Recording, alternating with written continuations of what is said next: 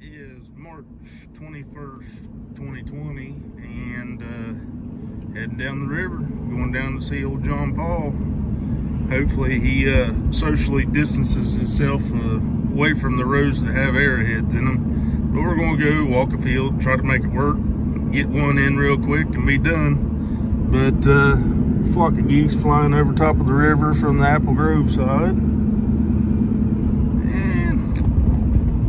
give you a little bit of scenery down here first thing in the morning. Sunrise just hit. Right at 719, so early bird gets the worms. The dogwoods over here are blooming. See what we can find. Thanks for watching.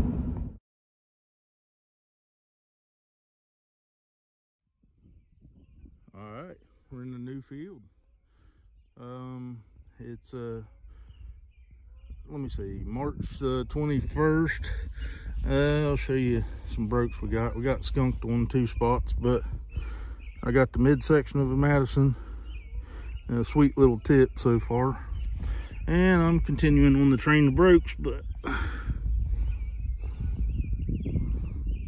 little knife tool. Little busted up top. But hey, anything's a find today. So we'll hop back on here if I find anything else. Hopefully there's a good side notch, corner notch coming up. Thanks for watching.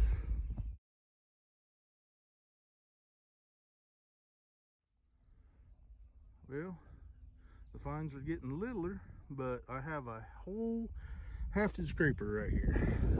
Laying right there. I've already popped it out, but I'll uncover it.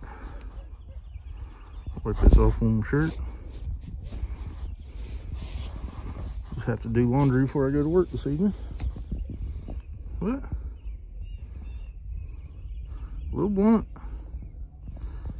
Don't care. That'll look good. Add to the collection. Hop back on here if I find anything else. Thanks for watching.